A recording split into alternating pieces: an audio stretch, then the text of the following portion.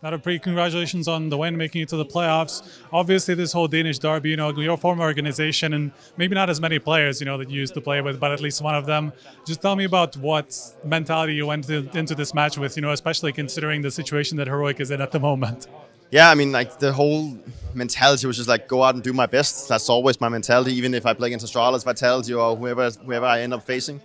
I think uh, today we uh, we obviously we played a lot better, but we also played a team that is maybe not performing as, as well as Vitality do. So uh, I think that comes into to like into the equation as well. But today there was just like a lot more fire, and I think at least for like it's always like that when you play like the Danish derbies, like you always want to be performing well, and you also want to win because you know there's something on, on, on the line. Um, and I'm just glad we came out on top, and I think we just assured everyone on the team that that we were going to go here and not like you know make it count for the last one, uh, potential last one. It, it's not the last one yet. Um, but yeah, it feels obviously feels really good. But it also feels a little bit weird being on this side of the of the derby when I've usually been playing for Astralis. So yeah. Uh, tell me about Vertigo. Obviously, you know, huge, huge comeback. It seemed like you were kind of lost on on Vertigo at the big at the at the beginning, you know, but then you just kicked into another gear. What happened there? I think we started off. Of course, we started out a little bit slow, and we ended up losing a one versus four to Bus. That didn't really help them with like the, the what is like the the confidence in the team, and it was kind of awkward. But like no one like got upset about it or frustrated. We just kept on going, and yeah, we just lost a few more rounds, and then it just felt like we we realized okay, so obviously with the new MR13 or whatever we're running right now. Um, like we needed to do something, and I think people just started like playing with a little bit more balls, like taking the fights instead of relying so much on playing setups and playing with each other. Like we just wanted to go out there and prove that we could hit our shots, and then we just started getting rolling from there. Maybe Astralis thought it was going to be very easy, uh, obviously being up 8-0, but I think we, we definitely won the mental game on that one, and then we just started snowballing from there. I had some really good calls from cadiaN, and everyone started hitting their shots, and ultimately we just had some some of the luck going our way as well.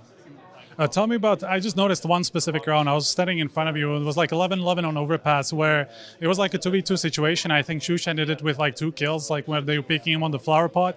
I saw you were the one speaking the most in that situation, as far as I know. Can you tell me, yeah, what you were talking about in that situation, and are you used to being such a vocal guy, even in situations that you're not necessarily a part of? Uh, yeah, of course. I mean, the situation got into like our favor since we know both rotated from CT at that point, you know, I, I told the guys that you need to play, like, you need to fall a little bit back, but you need to still stay close because there's a good chance they might still have a smoke for the bomb. And if you just like fall all the way back and they have a smoke, there's a big chance they will just smoke defuse it. Um, and then the guys decided to play up close together. And I said to cadiaN, he was sitting, he was one hiding. I said, you have to go like closer to the wall. Otherwise, if he swings, he's going to see you as well. And then you need to look down.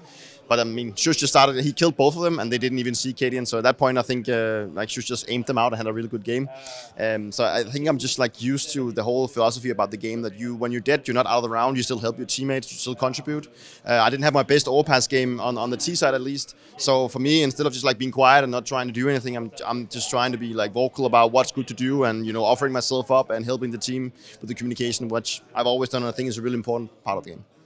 Tell me about what the situation is with you and Heroic. Obviously, you've only committed until the end of the year. Is this a sort of like a trial run for both sides? Are you just like looking at what the plans for the future are? Can you explain that? I think my future is really open. I mean, there's nothing really set in stone right now. I'm having a really good time in Heroic, and for me, I'm just about wanting to show that I still want to play. Like I still want to compete, and I want to show that you know I've still got it. I guess. Um, so I'm really enjoying my time here. And obviously, we'll see what happens. I mean, with the major coming up really close in Copenhagen, that's something I, I don't want to miss out on. Uh, whether that's going to be with Heroic or it's going to be with another team, uh, I don't know yet right now. It's still up in the air, but the most important thing to me is that I'm having good time playing, and I'm having good time playing for Heroic, so we'll just take it from there. Mm-hmm. Uh, you seem to have uh, been hitting a, a, pretty good stride. You know, I think statistically, you've, uh, um, I mean, you've been very consistent. You know, obviously, you know, it was like some online tournaments and not the highest level of competition, but even here, you've been keeping up a pretty decent level. What is that down to? Is it CS2 um, just fitting you? Is it this team kind of like having a little less pressure? What is it? I think it's a mix of a lot of things. I mean, it's also been different having to play the online tournaments with two, uh, like from the Christian and Sira from from MOUZ Academy or Next or whatever they're called by now. Um, where I had a lot more like, uh, in some sense, freedom. A lot more like I, I could just use a lot of my experience there with the young guys. Uh, now playing with cadiaN, which obviously is like a real in-game leader, if you could say that, and you know has a lot of saying as well. Um, and in that department, sure, it's uh, it's it's a little bit different, and it's also kind of hard that you need to like always adapt because maybe I got really comfortable playing the other way. Now I need to adapt into be, uh, and I got a, a, a, couple of different other roles, you know. So we keep changing things up. Uh, but all I think for me, it's just about me having fun. Um, I think I'm enjoying the game. I'm enjoying um, competing and, com- and enjoying playing. And I think that's always been my strength. That if I'm having a good time, then I usually uh, usually put up the good numbers. Uh, obviously, can still correct somewhere. Um, but overall, I think it's all about the mentality that you want to keep on improving. I not feel done. I guess. What do you think about cadiaN? You know, you didn't play with him at the online tournaments, but now you've got some kind of experience. Obviously, he is a very specific in-game leader. You know, he's set up this very dynamic style in the team, and it seems like it's something that suits you. You know, you're an aggressive player. You like to, to take duels, and um, yeah. What are your thoughts on him and how he's leading? I think we're having a good time, and of course, we've had our I mean, he's also been coming to me asking. So, like when we played Vitality yesterday, he asked me if he's if I saw something that he could do better. So I also think that he's trying to, you know, uh, ask me for advice and ask me about my experience and everything. But I think we get something out of like you know each other, um, and it's definitely different in the way that he's like an experienced in-game leader. He's also an AWPer. That's kind of what we. I mean, we did have with Christian when we played it, but he was not like a traditional in-game leader. He was like you know very new.